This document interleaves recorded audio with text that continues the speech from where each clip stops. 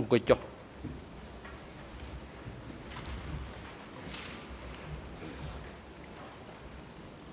អង្គជំនុំជម្រះប្រកាសបន្តកិច្ចដំណើរការនីតិវិធីសមាការហើយនឹងផ្ដល់វេទិកាជូនទៅមេធាវីការពិក្តីលោកខៀវសំផនដើម្បីបន្តការតាំងសម្រួលដេញដោលចំពោះដើមម្ដងរដ្ឋបវិនីសូមអញ្ជើញបាទសូមអរគុណលោកវិធាន ខ្ញុំសូមអនុញ្ញាតសួរដើមដឹងរដ្ឋវេនីបន្តអំបញ្ញមិញយើងបាននិយាយគ្នាអំពីការមកលេខរបស់តាមុកនឹងតាមការឆ្លើយបញ្ជាក់របស់លោក ហើយលោកបានបញ្ជាក់តាក់ទងទៅនឹងការចតឡាននៅ ខាងក្រៅបរិវេណមន្ទីរក្រាំងតាច័ន្ទខ្ញុំចង់សួរលោកបន្ថែមថា តើបរិវេណខាងក្នុងអាចចតឡានបានដែរទេ ហើយតើធ្លាប់មាន អ្នកដែលគេបើកឡានចូលមកចតនៅខាងក្នុងដល់ខាងក្នុងដែរទេ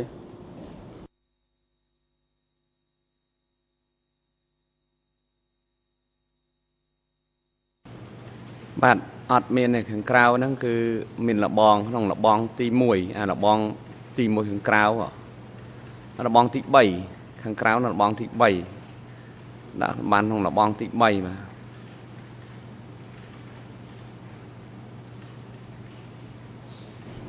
បាទសូមអរគុណលោកអាចបញ្ជាក់បានទេហេតុអីបានជាលោកទៅគ្វាកោតចូលមកដល់កន្លែងហ្នឹងកន្លែងដែលជាប់មកដល់របងទ្វារខាងកើតហ្នឹងដែលលោកបាននិយាយថាអាចថា2ម៉ែត្រពីផ្លូវចូលហ្នឹង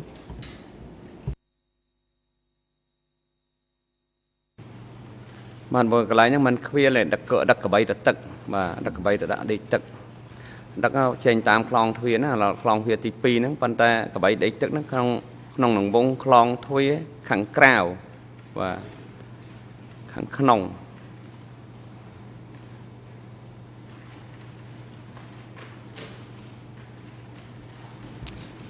ចឹងបានថាកបី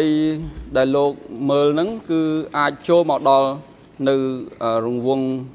ខ្លងទ្វារ2ជាន់ទី1ទី2ប៉ុន្តែអត់អាចចូលនៅខ្លងទ្វារទី3នេះទេតើអញ្ចឹងត្រឹមត្រូវទេ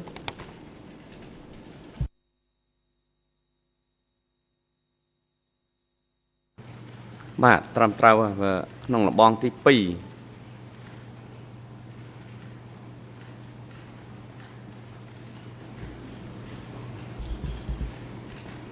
លោកអាចមិញលោកបានបញ្ជាក់ម្ដងហើយថាលោកបានឃើញតមុកចុះពីឡានខ្ញុំចង់សួរបញ្ជាក់ថាតើលោកឃើញក្នុងស្ថានភាពបែបម៉េចនៅចុះមកបែរមុខទល់គ្នាឬក៏មើលឃើញពីក្រោយឬពីចំហៀងក្នុងស្ថានភាពបែបណាលោកអាចបញ្ជាក់ពីការមើលឃើញនោះទេ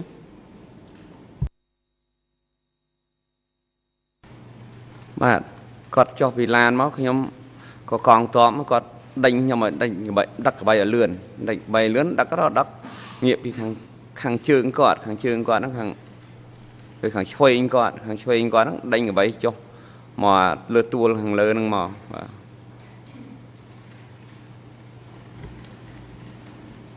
លោកមានបានកលេចមើលទៅគាត់ទេ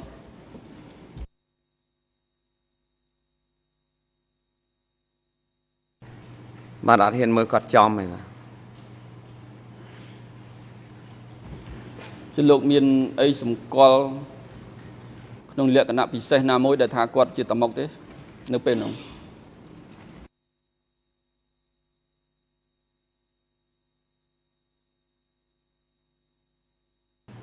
បាទអត់មានអីសម្គាល់ថាញកងតប5ខ្ញុំថាហ្នឹងឯតា15ដល់ប៉ុណ្ណឹងបាទ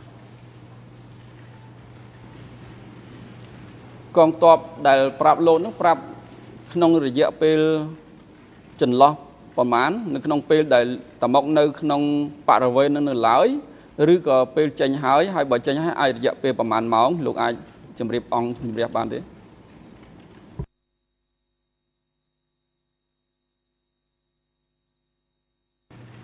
បាត់ចេញហើយខ្ញុំដឹកកបីមកពីពាំងវិញឲ្យកបីដេកទឹកនៅពាំងហើយដឹកមកវិញកងតប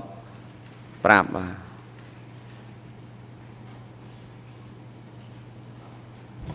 តើកងទ័ពម្នាក់ហ្នឹងធ្លាប់តែប្រាប់លោកពីរឿងអ្នកដឹកនាំឬក៏រឿងអ្វីប្លែកប្លែកនៅក្នុងមន្ទីរក្រាំងតាច័ន្ទនឹងដែរទេ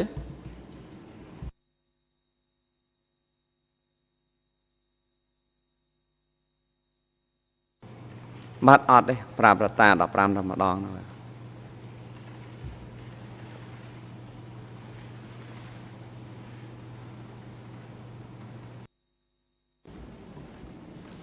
បាទបាទប្រាប់នៅក្នុងថ្ងៃតែមួយដែលលោកថាតមុកមក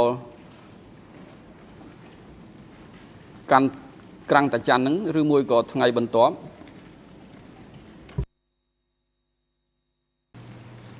បាទប្រាប់តែម្ដងហ្នឹងហើយមានប្រាប់អីទៀត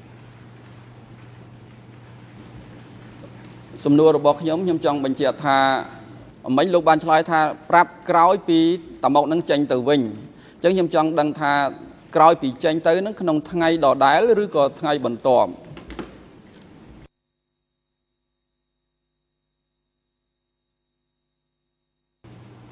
បាទប្រាប់ថ្ងៃដដែលហ្នឹងគាត់ឲ្យខ្ញុំដឹកកបីចេញពីទីពាំងមកវិញ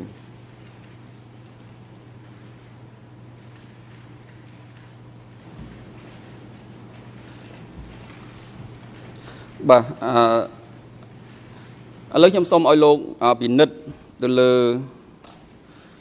ឯកសារដែលខ្ញុំអឺដែលជាផែនទីខ្ញុំបានជូនលោកមុននេះមិញ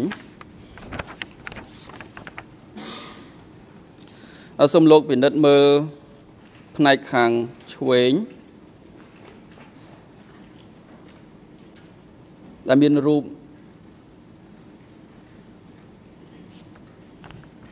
ចតុកោណវែងមួយអឺបញ្ឈរនៅផ្នែកខាងឆ្វេងដែលដាក់ថារណ្ដៅភ្នោ លោកបានឃើញរូបហ្នឹងទេ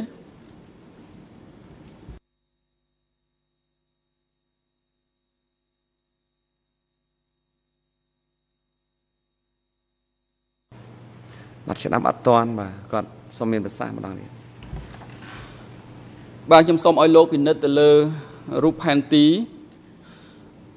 ដែលខ្ញុំបានបកគលជូនលោកនេះ នៅផ្នែកខាងស្ដាំបំផុត មានរូប 4អឺអឺចតុកោណបញ្ឈរវាមិនចំជាចតុកោណទេដោយសារជ្រុងរបស់វាមានលុបជ្រុងលោកបានឃើញរូបហ្នឹងទេ ដែលមានដាក់ថារណ្ដៅភ្នោ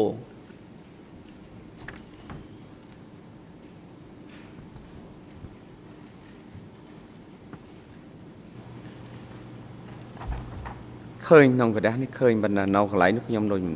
បានមើលសព បាទលោកអាចបញ្ជាក់បានទេថាទីតាំងនេះ ទីតាំងដែលដែលមាននៅក្នុងរូបនេះវាជាទីតាំងផ្នែកខាងណារណ្ដៅភ្នោនោះស្ថិតនៅទិសខាងណាបើប្រៀបធៀបទៅនឹងមន្ទីរក្រាំងតាចាន់ហ្នឹង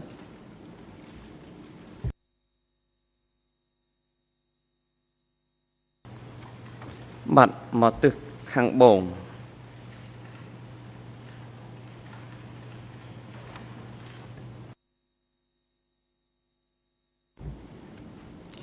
បាទសូមអរគុណចុះតាក់ទងនឹងទំហំវិញតើទំហំដែលជារណ្ដៅភ្នោនេះ មានបណ្ដោយប្រមាណម៉ែត្រទៅទាំងប្រមាណម៉ែត្រដែរលោកអាចអឺបញ្ជាក់បានទេ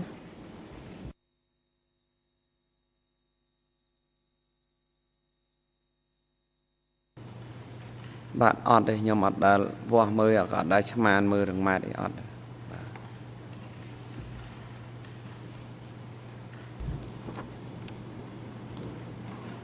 បាទសូមអរគុណចុះតាក់ទងនឹងចំនួនរណ្ដៅនៅក្នុងបរិវេណនេះមានចំនួនរណ្ដៅប្រមាណដែរ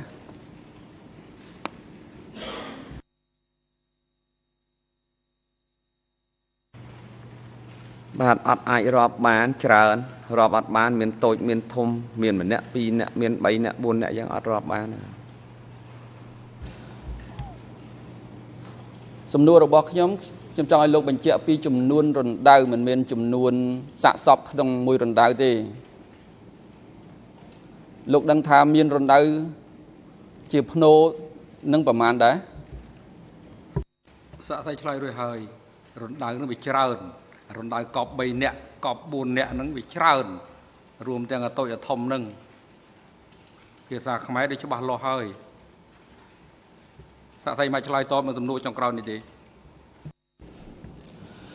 លោកប្រធានការពិតចំនួនថាច្រើននេះវាអត់ច្បាស់លាស់ទេវាតលតែបញ្ជាក់ថាអាចចំនួនប្រមាណ20 30 100 200អាហ្នឹងបានវាអាចថាចំនួនច្បាស់លាស់លោកប្រធានគាត់បានប្រាប់ហើយតែគាត់អត់ច្បាស់លាស់អត់រាប់ទេវាច្រើនអត់បានរាប់ទេចឹងហើយបានតែច្រើនក៏រាប់តាំងពីរណ្ដៅដែលមានកប់ម្នាក់2នាក់3នាក់ឡើងទៅរហូតដល់រណ្ដៅធំ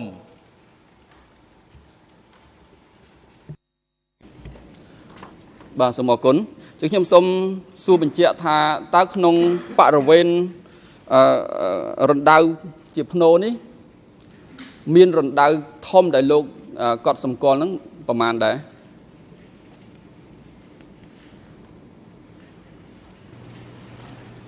ខ្ញុំអត់បានរាប់កន្លែងហ្នឹង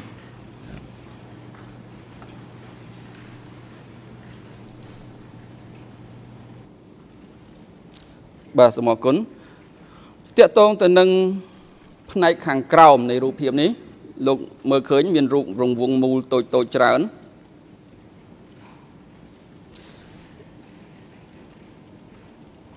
គឺមានចំនួន10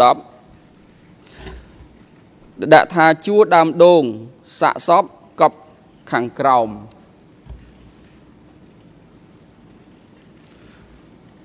ខ្ញុំចង់សួរលោកថាតើ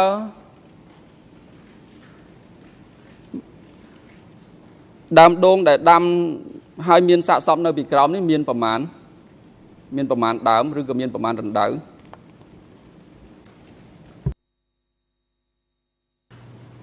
បាទក៏មុនច្រើនប៉ុន្តែឡូវវាងាប់ដំដងបាត់ចឹងអស់នៅប្រហែលជា20 30ដើមតែមើលសពថ្ងៃហ្នឹង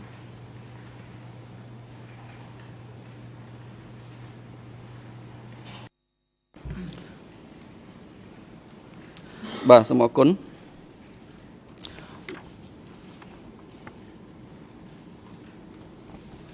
លោកអាចបញ្ជាក់ពីចំនួនច្រើនដែលលោក មានប្រសាសន៍មិញបានទេច្រើនហ្នឹងក្នុងកម្រិតប៉ុណ្ណា100 200ឬក៏1000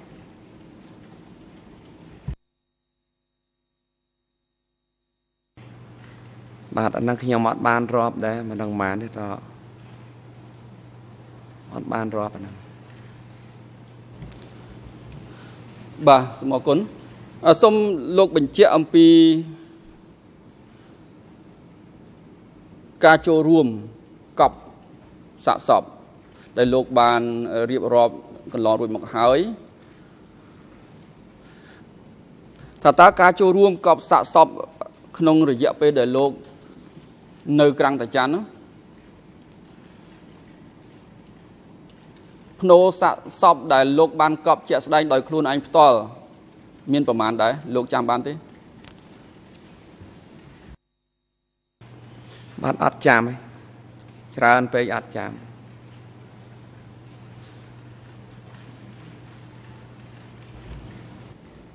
ចុះលោកអាចបញ្ជាក់អំពីចំនួនភ្នោធំធំ ដែលលោកបានចូលរួមកប់ទេ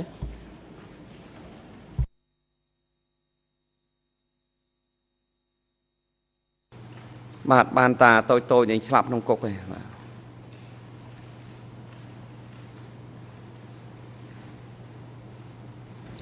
បាទសូមអរគុណឥឡូវខ្ញុំសូមនិយាយក្រោយពីរំដោះ1979វិញគឺនៅពេលទៅកាយភ្នោព្រោះលោកបានអឺឆ្លើយក្នុងអឺកន្លងមកតាក់ទងទៅនឹងអឺការកាយរោគអឺធ្មេញមាសអឺពីភ្នោពីសាកសពនេះតើលោកអាចបញ្ជាក់ថាពេលដែលលោកទៅអឺកាយរោគកំណប់ឬក៏អឺទៅរាប់ លលាក្បាលឬក៏ឆ្អឹងនៅក្នុងភ្នោនីមួយៗហ្នឹងលោកធ្វើនៅពេលណាដែរទេ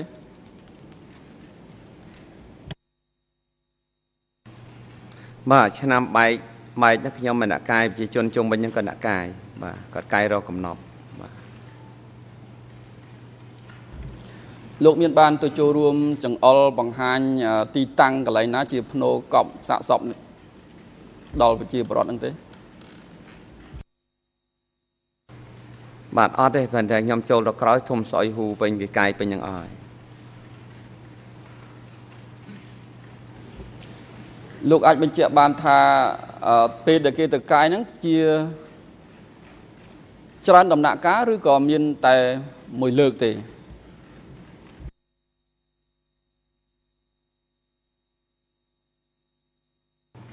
បាទហ្នឹងខ្ញុំអត់ក្រាបអត់ជុំដែរ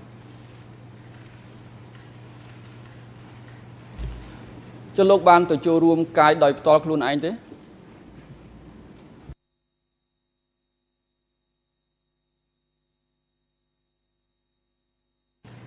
បាទអត់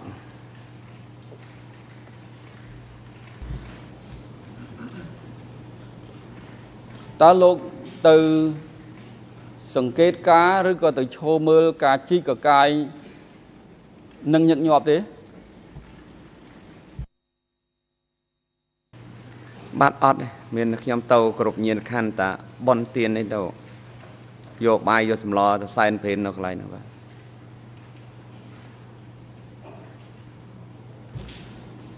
បើចុះលោកធ្លាប់ចូលរួមកាយយកឆ្អឹងមករាប់ដែរទេ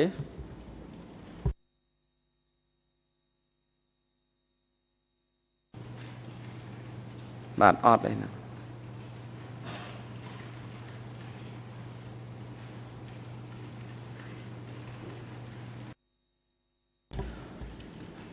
ចុះលោកបានដឹងពីការកាយយកឆ្អឹងជាពិសេសលលាក្បាលយកមករាប់ដើម្បីអឺឲ្យដឹងចំនួនឬទុកដាក់ដែរទេ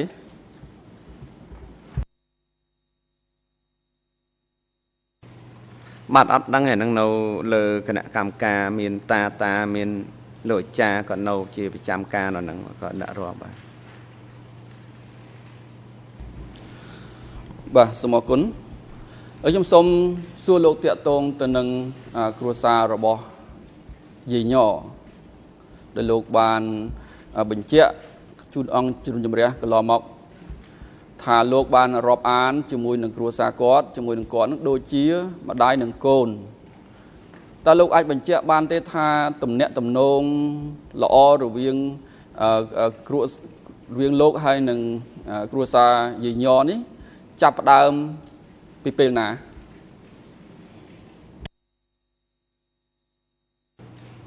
បាទចាប់ផ្ដើមទៅនៅជាប់គុកទាំងអស់គ្នាបាទ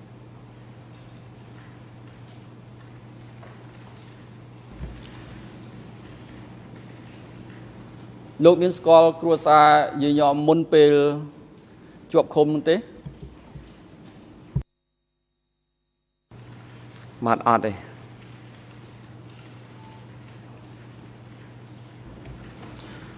ចុះលោកស្គាល់ប្តីរបស់យាយញដែលដែលត្រូវទៅជាប់ឃុំមុនយាយញនឹងដែរទេ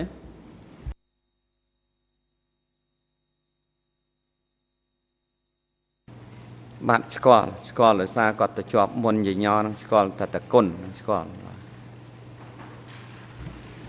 លោកស្គាល់នៅពេលដែលតាគុណនឹងទៅជាប់នៅក្នុងក្រាំងតាច័ន្ទឬក៏ស្គាល់ មុនពេលទៅទៅជាប់នៅក្រាំងតាច័ន្ទ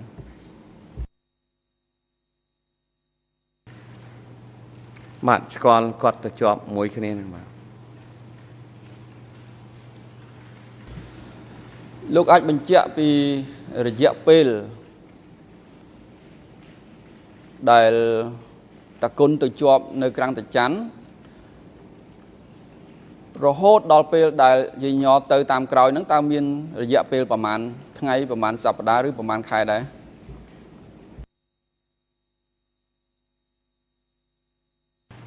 បាទហ្នឹងខ្ញុំអត់ចាំទេបាទ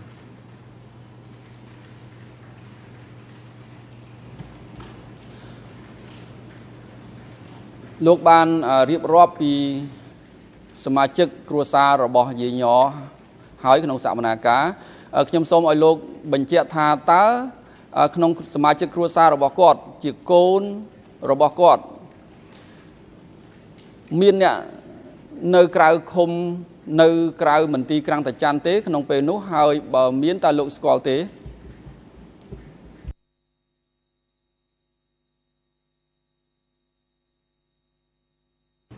បាទស្គាល់តែអ្នកនៅជាប់មួយគ្នាអ្នកក្រៅខ្ញុំអត់ស្គាល់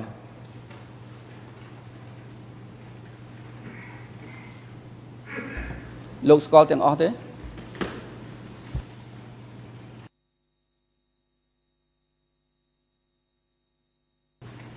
បាទទាំងអស់ខ្ញុំអត់ស្គាល់ស្គាល់តែអ្នកជាប់នៅមួយគ្នាអ្នកក្រៅខ្ញុំអត់ស្គាល់បាទខ្ញុំចង់និយាយថាលោកស្គាល់កូនរបស់គាត់ដែលជាប់នៅមន្ទីរក្រាំងតាច័ន្ទទាំងអស់ទេ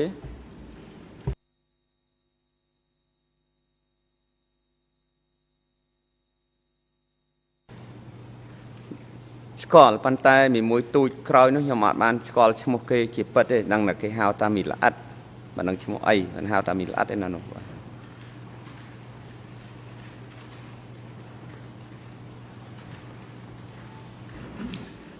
លោកអាចរាប់ឈ្មោះបានទេ កូនរបស់គាត់ដែលជាប់នៅក្នុងឃុំហ្នឹង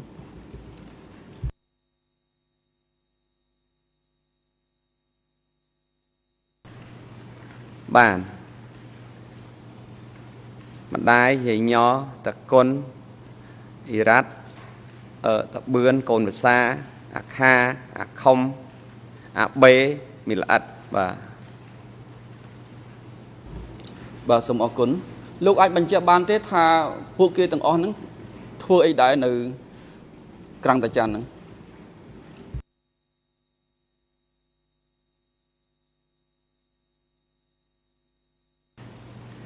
អត់ធ្វើអីហងនៅធ្វើស្រែធ្វើចង្ការដូចខ្ញុំដែរហ្នឹងដូចគ្នាគេប្រើធ្វើអីធ្វើហ្នឹងដូចគ្នា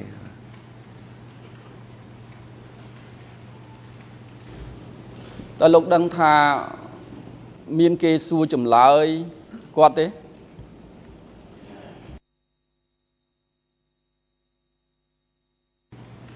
ដឹងគេសួរថាប្តីគាត់សួរថាប្តីយាយញ៉ហើយនឹងពបឿនបាទ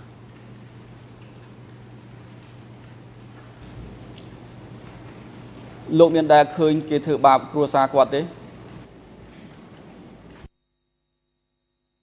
អឺសូមទោសសូមបញ្ជាក់ឡើងវិញ គ្រួសារខ្ញុំចង់និយាយសម្ដៅទៅលើកូនកូនរបស់គាត់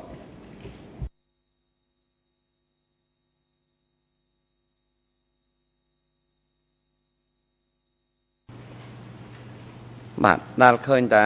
គេធ្វើបាបតាពបឿនហើយនឹង អឺប្តីយាយញ៉ហ្នឹងនឹងទៅជាប់មុនគេគេវាយសួរចម្លើយហើយយកមកតាក់ក្នុងគុកវិញគាត់មានជំងឺក្រមគេក្រមគេក៏ឆ្លាប់បាត់ទាំងពីរហ្នឹងទៅបាទ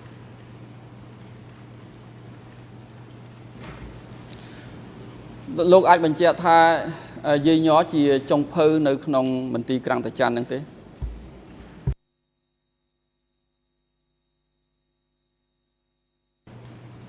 បាទយាយញ៉គាត់ចាស់ជាងគេគេមិនអោយធ្វើអីការងារធ្ងន់គេឲ្យគាត់ដាំបាយឲ្យគាត់ខាងបបរ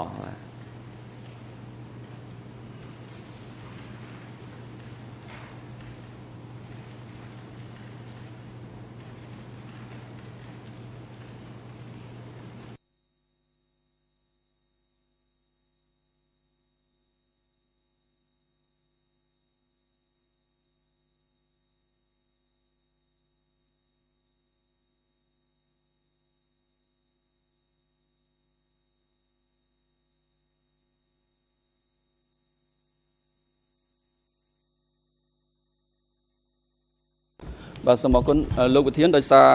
អឺសំណួររបស់ខ្ញុំអឺភាកច្រើនតទៅទៀតនេះវានឹងមានអឺតកតងទៅនឹងអត្តសញ្ញាណរបស់អឺអ្នកនៅក្រាំងតាច័ន្ទអឺដូច្នេះអឺខ្ញុំបាទមិនអាចសួរ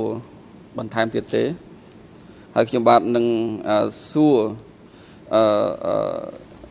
នៅពេលដែលអង្គជំនុំជម្រះសម្រាប់អនុញ្ញាតឲ្យមានការសួរបន្ថែម សូមអរគុណ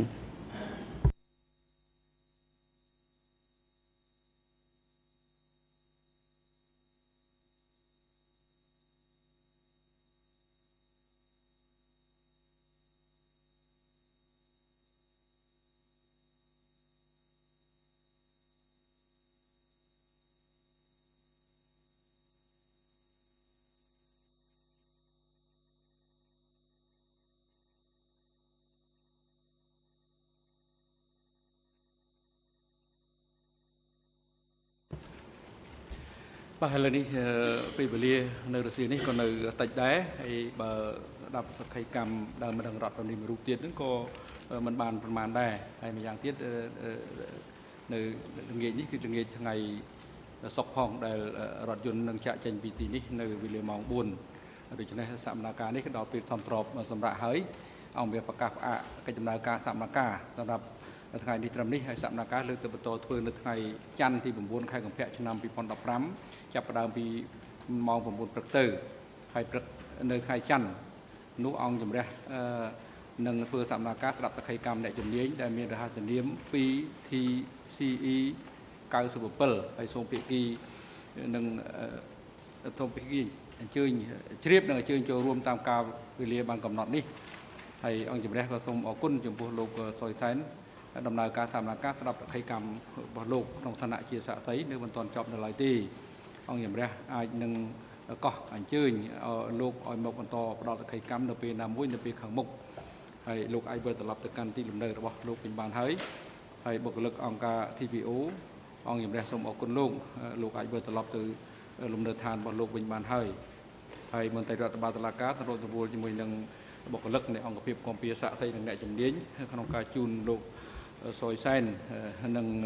ដើមម្ដងរដ្ឋប្រវិនីដែលមានហស្សនាម 2TCCP 303ដែលយើងបានមករងទុកសម្រាប់ថ្ងៃនេះនឹងវិលត្រឡប់ទៅកាន់ទីលំនៅឋានឬក៏គោលដៅណាដែលគាត់ពួកគាត់មានបំណងចង់ទៅបញ្ចុះ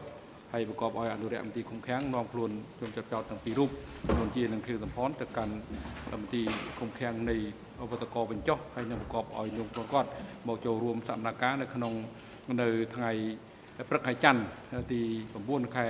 កុម្ភៈឆ្នាំ2015ឲ្យបានមុនម៉ោង9ព្រឹកសម្រាប់ចុះសូមចេញក្រោកឈរ